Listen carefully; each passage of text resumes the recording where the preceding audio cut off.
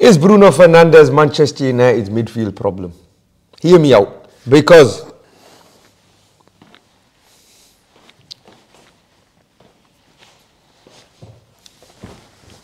Right, right forget Angeball. We'll do that next one. Right, so it's the first time we've seen Ten Hag's team take a bit of control of a game.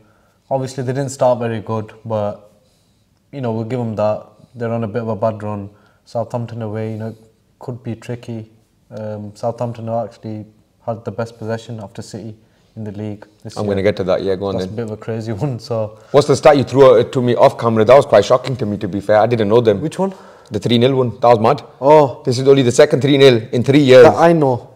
Yeah. That I know. Of uh, Terry, well, in the Premier League for sure, is Erik Ten Hag's second 3 0 as Manchester United manager. Only second 3 0. 3 0 is obviously the, like a very comfortable result yeah, for big clubs. I, I genuinely cannot think of any other game where we've won. So, answering your question, well, finish the question. Is it papering over? Is it papering? Is it papering over the cracks?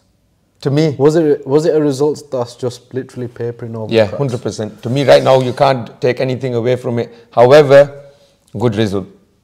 You needed it in the circumstances. So right now, every game is a. What final. is it going to take to convince you that for me, up until January, they need a, a, a, style of play. So you mentioned Russell Martin now, the manager of Southampton. He's only been there since last season, I think, for, if I'm not mistaken, mm. right? And he's got them playing the best possession, well, the most possession football in the t- uh, first five games of the Premier League. So they've yes. got a clear style of play. They might not be the best at it in the in the sense of end product quality. at the end of it and the quality because of who they are. However, they're trying to play a, a style of play and they've got identity to them. What's Manchester United's identity?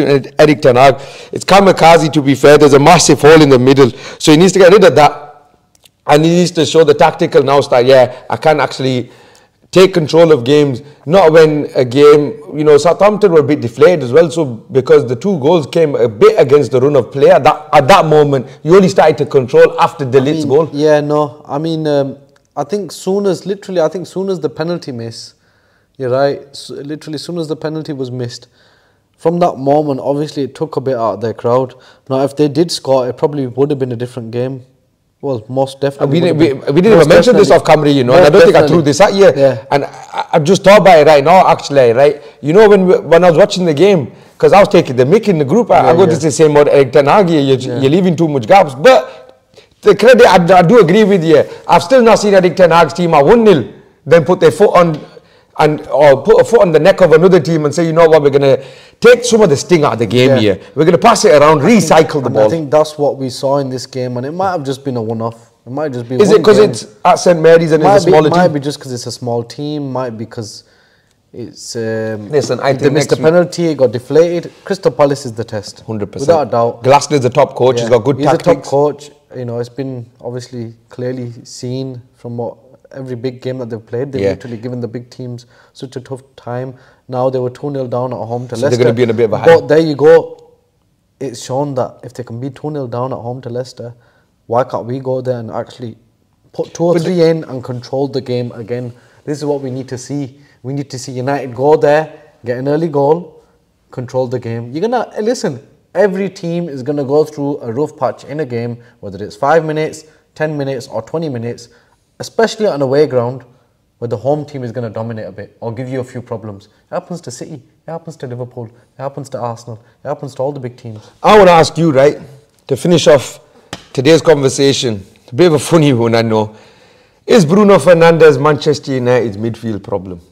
Hear me out. Because, let me land as I normally say, I, I took from the P.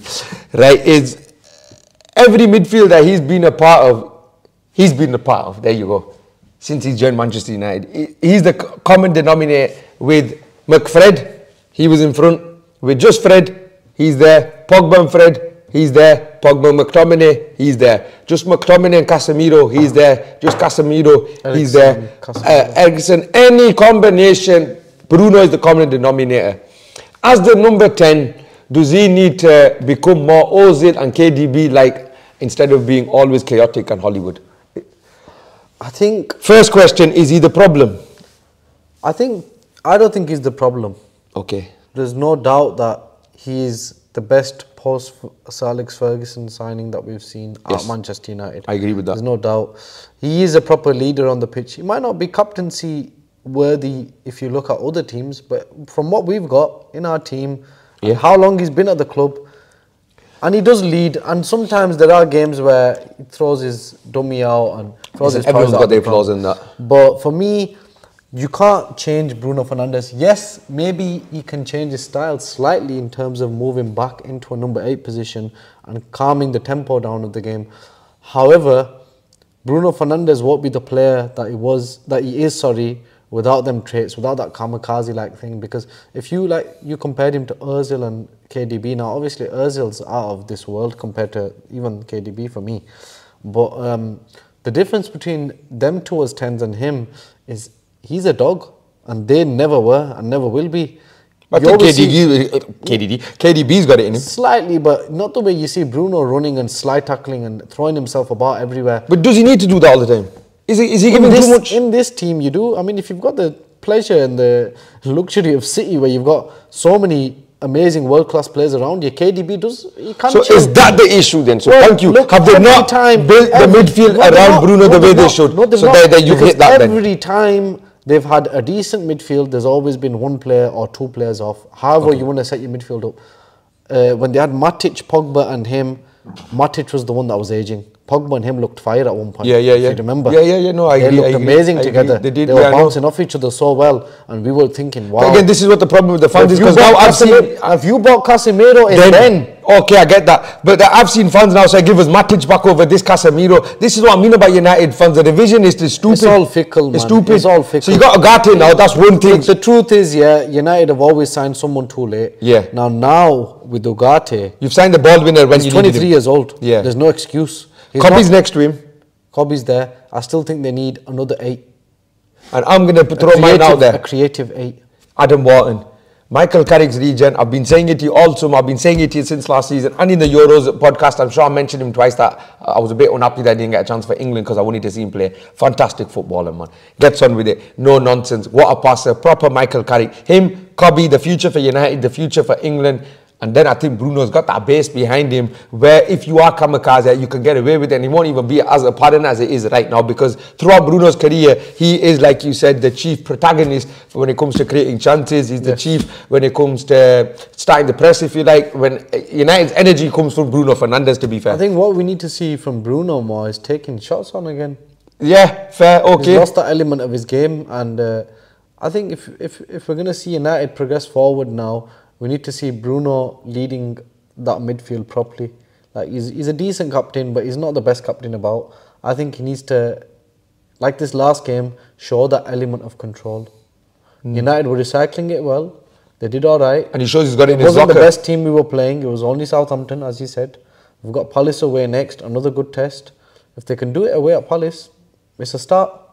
We're not gonna go, you know, we're not gonna go daft. I know I had my little prediction, little mess about prediction, but we're gonna keep it calm and level-headed here.